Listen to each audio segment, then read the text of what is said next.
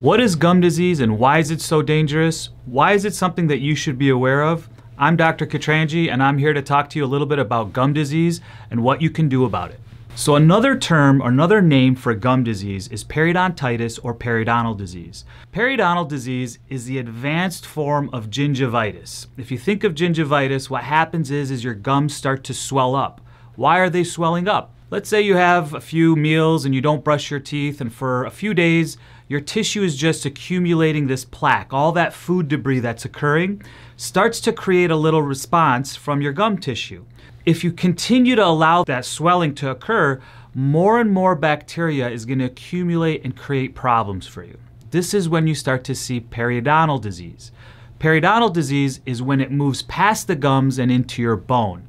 Periodontal disease is an infection. It's inflammation. It's a problem that starts to occur as you let that bacteria accumulate around your teeth. What's going to happen is you're going to lose bone. And as you lose bone, you create these pockets around your teeth. If you've been to the dentist, a lot of times they start poking around your teeth and you say, okay, what are they, what are they doing? What are these numbers?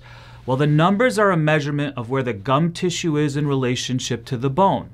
As periodontal disease progresses, the bone starts to resorb and you get more and more deep pockets. And these pockets harbor different types of bacteria. That environment we call anaerobic. Anaerobic means the lack of oxygen. If you think about it, bacteria that can live in an environment that has no oxygen are very aggressive bacteria.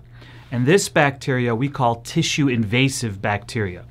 This bacteria gets not only into the pockets, they actually eat through the gum tissue, get into the bone, get to the bloodstream, the bloodstream goes to your heart and your heart pumps it everywhere else. If you've ever heard there's a link between your oral health and your systemic health, the rest of your body, that is where it starts. It starts with those deep pockets and that very aggressive bacteria that find its way into the bloodstream. Many times we have patients who have surgeries scheduled and their doctors, their orthopedic surgeons will send them to us first so that we can first make sure that there's no infections in their mouth.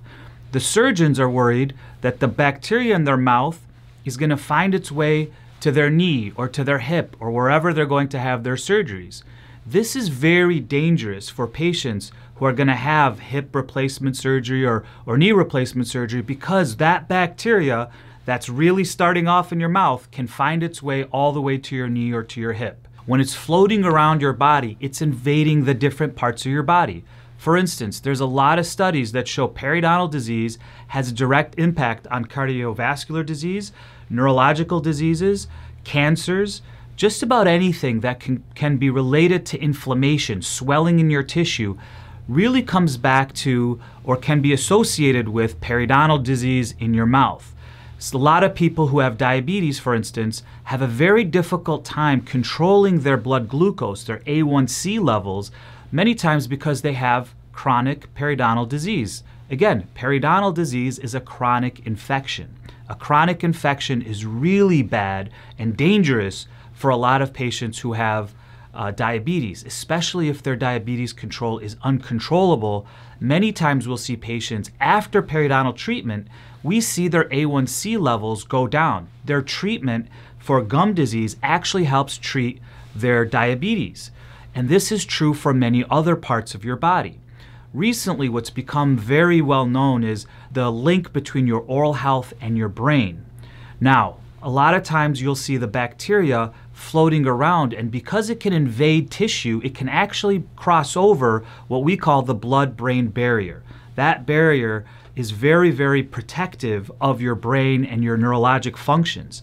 If the bacteria from your gums can get there and find its way there and repopulate into that area, many times we'll see people who have susceptibility to disease go over and kind of go tip over to the line of having the disease. So we are definitely worried not just of your of our mouth, but our whole body. So just remember, if somebody tells you you have gum disease, Rest assured, there's ways to treat it.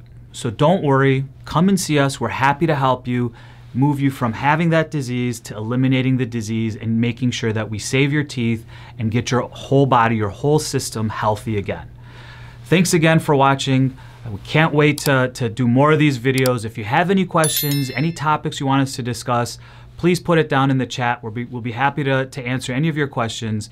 And thank you very much for your time. Restore your smile and your health. Schedule your appointment today.